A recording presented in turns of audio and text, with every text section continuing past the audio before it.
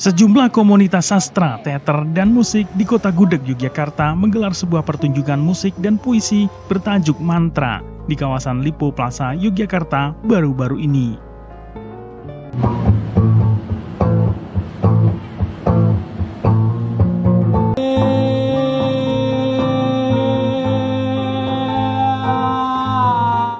hanya memunculkan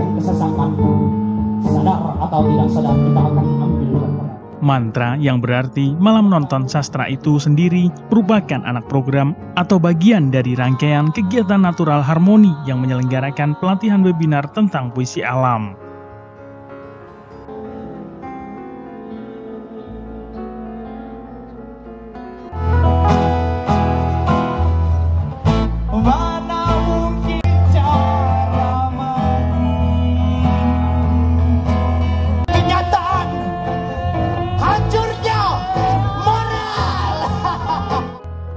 Acara bertemakan menyanyikan alam kata-kata itu berlangsung cukup meriah dan berjalan lancar.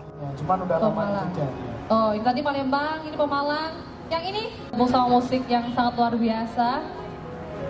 Saat lagi kita Jadi mantra ini adalah salah satu rangkaian kegiatan yang sudah kita lakukan. Yang pertama kemarin itu kita membahas atau membuat kegiatan itu webinar membahas tentang puisi alam. Kemudian yang kedua itu sekarang mantra malam nonton sastra menyanyikan alam kata-kata. Artinya yang kemarin kita membahas puisi secara teoritis, sekarang kita menyanyikan puisi itu kok tahu sendiri ya keadaan sekarang covid ya Iya, iya, iya. karena eh, ruang-ruang offline lah bahasa sekarang offline ya online dan offline ya Iya, Ruang iya. offline itu kan sudah sangat jarang sekali untuk itu kami dari artis ini production itu mengajak eh, kawan-kawan komunitas untuk tampil di sini. Ada yang dari kalau kampus ada yang dari UIN ada yang dari ISI kemudian yang lainnya komunitas band sendiri.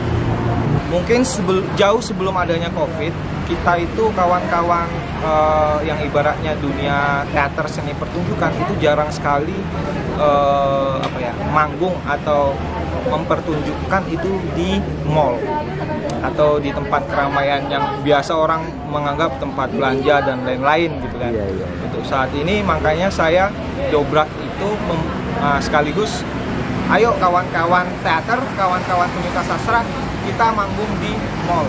Nah, itu yang agak sulitnya karena nah ini ya namanya anak eh, seni itu kan agak susah diatur Iya iya.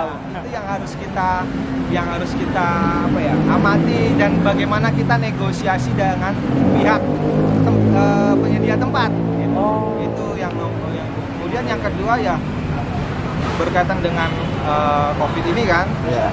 jadi jadi tadi ceritanya gini ketika kami baru eh, apa ya prepare set itu polisi sudah hadir akan tetapi kan eh, dari pihak kita sudah membuat kursi itu berjaga jarak. Kemudian kita juga mematuhi protokol yang sebenarnya bagi kita sebenarnya berat. Cuman karena bantuan dari pihak Lipo juga ya agak diringankan gitu. Karena mereka juga sudah punya sistem protokol kesehatan sendiri gitu. Indah dengan senyuman yang paling memukau Aku balas senyumun, senyumanmu itu ayah